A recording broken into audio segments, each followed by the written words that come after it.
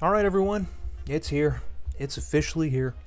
Uh, as far as I can tell, this is the finale for the New Cats Dynasty. I can't believe it, man. I cannot believe it.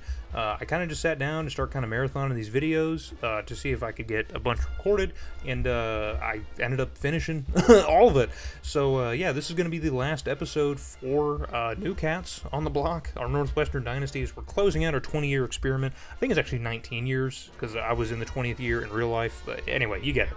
Uh, and we're going to close it off here in the Fiesta Bowl, facing off against the Air Force Falcons for the third time in the BCS title game. How many times we've played Air Force? I think it might be four. I think that one time we played them in the first season is the only other time that we've played them in the Dynasty. I don't think I've played them in the regular season since then. Uh, so this essentially is our fourth meeting, I think. Uh, either way, uh, Air Force is back in the national title game. They were not in it last year. Normally, when we aren't in it, they're not in it. Um, or normally when yeah when we're not in it they are in it is what i meant to say so normally that's where they are but uh, it is they were not there last year and they are finally in it again this year so this is their i said what their total was uh, in the last time that they were in it and i think it's like what dude like seven, eight times now. Uh, this is a rematch of the 2020 Orange Bowl and a rematch of the 2015 Sugar Bowl. So, uh, yeah, this is like the uh, Cleveland Cavaliers and Golden State Warriors dynasty, just running alongside each other. Air Force has not gone away since this dynasty has started, which is just crazy to even say. It's just nuts, dude.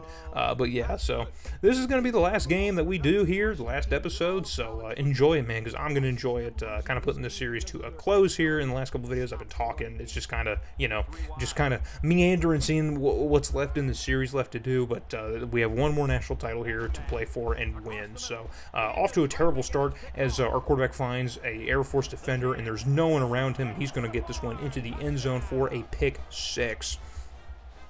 So Air Force is going to start off with a defensive touchdown. Normally, they're the ones who are turning the ball over a million times uh, in these games against us, but uh, they, they come up big. Uh, their defense comes up big here. Normally, their offense struggles, so maybe they're going to need all the defensive help that they can get. So we give them a freebie early on in this ball game, but we have another opportunity uh, as our quarterback is just going to keep it himself and run up the middle. And Mickey Skinner, who won quarterback of the year, injures himself uh, trying to keep the ball himself. He is having a Jared Goff uh, type of bad game. it is nuts right now. But either way, we have horses in the stable, so we, it shouldn't be too concerning here for our offense. We should be able to still do something against Air Force, I'm hoping here. I would hate to lose our last game, and it looks like Skinner is healthy. I think that's him back out on the field, so he had just set up for a couple plays. Uh, he had a case of uh, pussyitis, I think, so he should be all right here. Uh, rub some dirt in it, and he is back now to lead us to the promised land, hopefully, as our receivers cannot seem to catch the football, so maybe it is not a promised land, but here, late in the first quarter, it's second and 10 now, we're in Air Force territory. Skinner has got a clean pocket here, and he lays up an absolute laser and finds an open receiver who hauls it in inside the 5 yard line. So we are cooking things up here now deep uh, into Air Force territory. I mean, look at that beautiful pass, man. Beautiful pass, beautiful catch.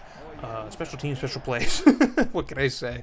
Uh, so first and goal now as the clock runs to zeros here. It's the last play of the first quarter. Skinner's going to move out and find another Air Force defender as he lays up his second INT of the game. So uh, an opportunity for the Wildcat offense quickly goes south uh, as we give Air Force another opportunity that they do absolutely nothing with. So we have an opportunity here. It's third and 10 here in the second quarter.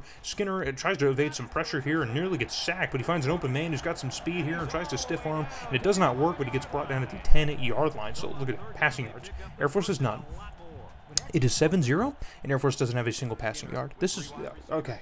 Anyway, uh, on the next play here, Skinner's going to flip that out to the corner uh, to number 83, uh, who he had, who he hit uh, in the last drive to get within uh, scoring distance, uh, but unable to connect there. And it's the third interception for Skinner. This dude needs to go away, and he is unable to make the tackle here. And this one's going to be another pick six. It's going to be a hundred and what four yard pick six here, as our receiver's unable to get to him. So it is not only our third turnover of the game, but it's our second pick six. So Air Force can't really do much of anything on offense, apparently, but it's okay. Just wait long enough, and uh, we'll, we'll lay up some ducks for you uh, to do whatever to get your pick sixes, I guess. So we are absolutely folding right now. Uh, I know you guys haven't seen uh, the Wildcats play this terribly in a game uh, since I was playing the games in year one. But uh, yeah, it's pretty abysmal. I mean, we've had some bad bowl games uh, that I have, uh, you know, shown and recorded in the series, but this one is, is pretty bad. Skinner is having an absolute masterclass, terrible game here.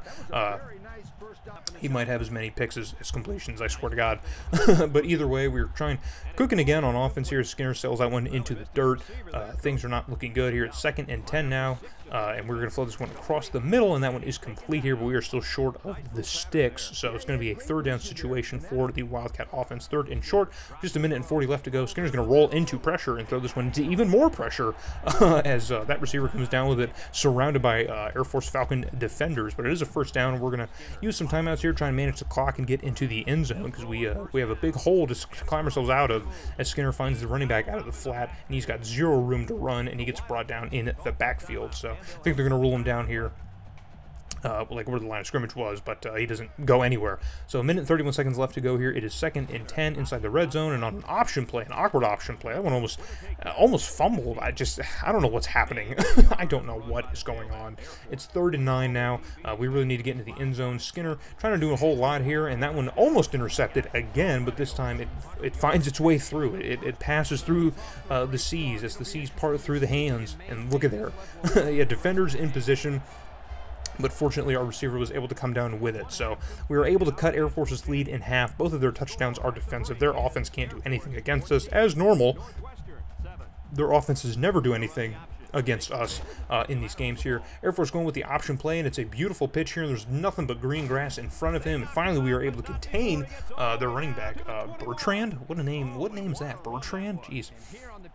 Bertrand, Mr. Bertrand, Mr. William Bertrand uh, is able to get just about down to the 20 uh, off of that option play. So uh, Air Force is cooking here as I was just flaming their offense for being terrible. They're uh, doing something here, and then the quarterback lays up an absolute dime to our defender here, and he's got look at that speed, dude. Look at that burst of speed. Jeez, man, our safeties and our cornerbacks got absolute speed. Yeah, no one's gonna catch him, and we get a pick six of our own. So the third pick six of this Fiesta Bowl. Uh, this time goes in our direction. There you go. There's Skinner and Swift's uh, matchups there, and it is absolutely disgusting. So uh, there are 28 total points in this game, and 21 of them are from pick sixes. I feel like that's a record. It's got to be a record somewhere, right? Uh, but even though our offense has looked absolutely terrible in this game, we do manage to tie it up. So it is down to this, ladies and germs. This is potentially uh, our last game, and it is coming down to the wire. And a beautiful batted ball to himself is another interception for the Wildcats. I think that was the same guy who had the pick six, was it? Let's, let's take a closer look at the number here. Uh, I think it was number five or number six who had it, and uh, yeah, uh, well, it's number two now. So uh, shout out number two. You guys remember number two from the first season? That's for the OGers who've been watching since the very beginning. Uh, I know I've made you wait long enough, but uh, shout out. Uh, either way, uh, we're moving things now on offenses. We have a prime opportunity to take the lead off of that second interception off of Swift, the Air Force quarterback. So Skinner just needs to protect the football and everything will be okay as he sends this one through the air and he does not do a good job of protecting the football as that one could have easily been intercepted. Uh, fortunately, it was just batted down. So on third and short here, we need to come up with something. We're going to give it off to the fullback who shakes off a couple tackles and fortunately gets brought down uh, past the first down marker. So it's another Wildcat first down. We have a fresh set of downs as the clock ticks underneath four minutes here in the fourth quarter. We are in the driver's seat and then Skinner lays up another interception. The fourth pick of this game. Fortunately, that one's not a pick six. May as well have been. Jeez, dude, I just, oh my god. We have not had that kind of quarterback play in these games, like, in that, in this whole dynasty, in like, like 10 years. Look at that, 17 for 31. He's thrown the ball 31 times, and Swift's not even throwing the ball. Uh, just this is a gross game. This is grosser than the 2015 Sugar Bowl. I swear to God. but we get the ball back as Air Force is unable to do anything with it, and this time Skinner finally does something uh, of note. Uh, and there's our three receivers who are getting a bulk of the work today. So there are their names. I haven't been calling them out because uh, I've just we've lost the roster at this point. I've had so many receivers come and go. But all I know is that guy right there is getting a ton of work. So uh, we get ever so close to the goal line here. Second and goal, we're going to go through the air. And Skinner off of his back foot. A dangerous throw yet again, but he does find an open receiver. And that right there is the go-ahead touchdown here. But there are still just under two minutes left to go here. The game is certainly not over with how turnovers have gone uh, today in this Fiesta Bowl. It is still anybody's game. Anybody could come up big. Uh, and so nothing is a guarantee. But as I know right now, we are currently holding on to the lead as the clock is running here. But Air Force has the entire length of the field to go, and Swift takes just a half second too long and gets tripped up. And now Air Force is going to run the hurry up because they feel the pressure now. It's second and 15. They got to get the entire length of the field, about 80 yards, uh, or more than that, 90 yards if they want uh, even a chance to continue this ball game. And Swift is going for it all, and he actually gets it all, or at least gets half of it, as he finds an open man who gets sandwiched uh, just shy of the 50-yard line. But just like that, Air Force has already uh, made an attempt to flip the field here as they get down to uh, midfield. So Swift under some pressure here is run around in that pocket, but he finds an open man. But hold on, there's yellow hanky on the field. We have a penalty.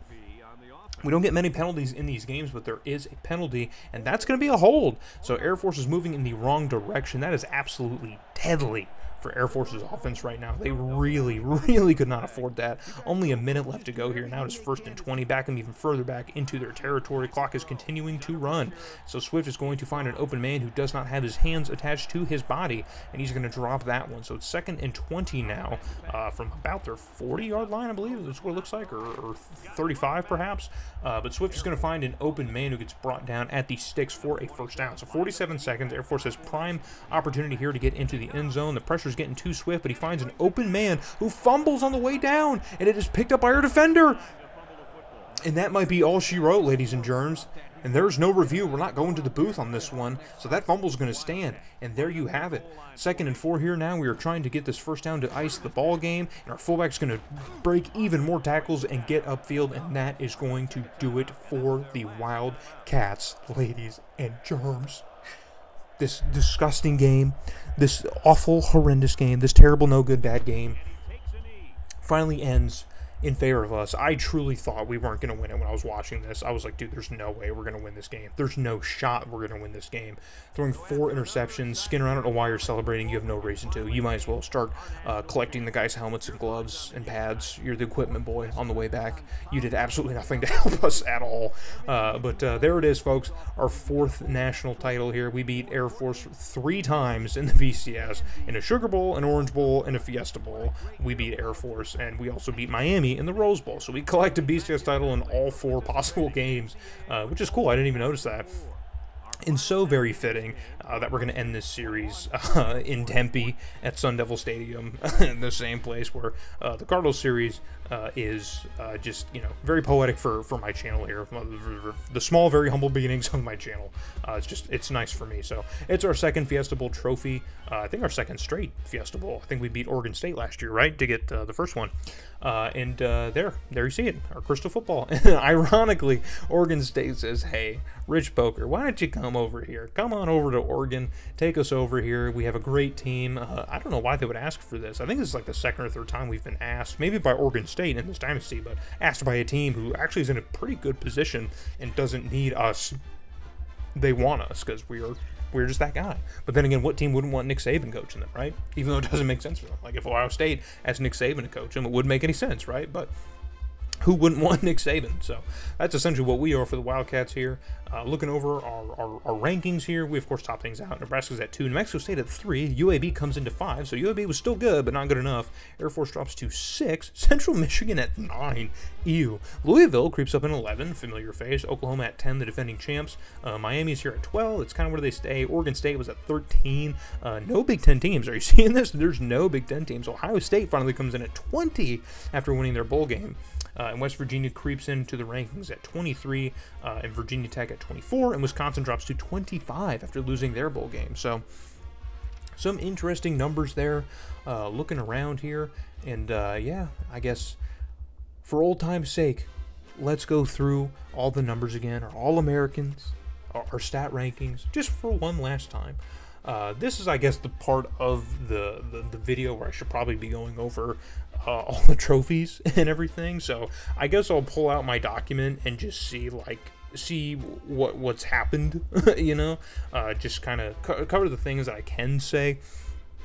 Um, there are some trophies we haven't won in a while, like the Bednarik. I don't know the last time we won a Bednarik, but we won one in 2004. So that's as far as I've kept track of those. We won a few Jim Thorpes. I think we won some recently, but uh, yeah, it is what it is. Uh, recruiting, I would like to tell you guys, recruiting wise, um, because I didn't keep track of last year's. So uh, here we go. So now I, have got the complete list now. So uh, in our first season of recruiting in 2004, we were 28th. So that's actually pretty decent recruiting wise. Thinking back to where the Louisiana Monroe series is and how bad I was in recruiting in that first uh, couple of years, 28th is pretty good for the first year. So we moved up to 14th and then 10th and then 8th.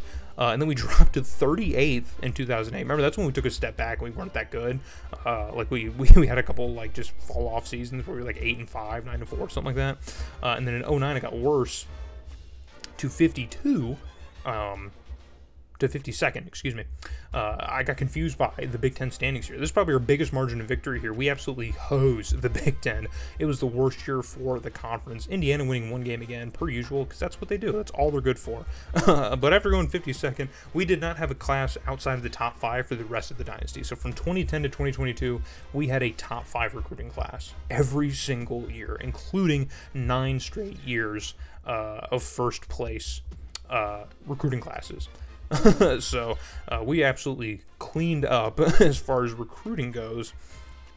Uh, and I think I've covered just about everything as far as like national championships go.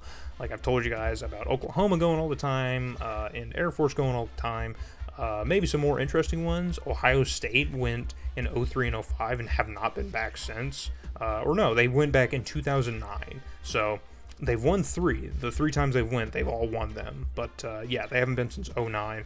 Uh, Kansas State was in the first one in our dynasty, and uh, they never went back. So, because I was talking about in the last video the teams that have went uh, and then like didn't didn't just didn't go back again. And Louisville was kind of the team I picked, but Kansas State went once and they were done. Uh, Oregon State went once and uh, they were done, or they won in 2016. So that was their only two appearances. So um, but yeah, yeah, you have Colorado State in here and Virginia Tech. Uh, Miami won two, and then they played us. That was their first time back since 2006. Was when they played us in the 2017 Rose Bowl, and they lost it. So, uh, but as you see, they've been in the top 15 in recruiting and, and in the season every single year. So uh, you know the consistency there. But that's how the rest of the college football landscape kind of kind of plays out here. And now we're just going to kind of go over the last of the numbers here. But uh, yeah, I mean that's that's really kind of uh, all she wrote for the series. Uh, again, the third down attempts and fourth down, we're always last in those just because of how great our offense is, dude. We're scoring on the first and second play. Who cares if we're converting third downs? We probably have the fewest uh, in all of college football. It does not matter. So it's just so nice to see that little tiny PNG of the national championship uh, trophy sitting right there. Uh, and again, we grace the cover Sports Illustrated. It's the perfect way to go out. Uh, and we're going to look over uh, the report card, which is here we go. Average attendance is up to almost 56,000 people. Here. We're undefeated in regional and national uh, broadcast.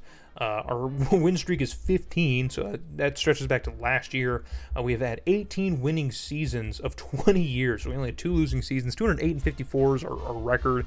Uh, we only lost one game to Illinois, to our rival. We've only lost one game to Illinois. That's nuts. That bowl record of 14 and 4 is crazy. So we've won the Big Ten seven times, I guess. I guess I've, I've really missed when we've won the Big Ten because I thought the number was only like four or five. Uh, but yeah, apparently we've won seven of them. So I'll take seven titles. I guess I've forgotten. So here are all the, the goals here the contract. We've achieved them all. Uh, our longest win streak was 28 games. We won 28 straight games. That's nuts. Winning 28 games. Uh, but uh, yeah, that's going to be it, guys that's the end of New Cats. Uh, this series is coming to a close. Thank you guys so much for watching. Uh, this is my first series I did on the channel, first college football series I did on the channel. The Cardinals is the first series, but uh, yeah, we're bringing this one to a close, man. It's been a lot of fun. Thank you guys so much for watching, and uh, here, uh, here's to what happens in the future on this channel with college football.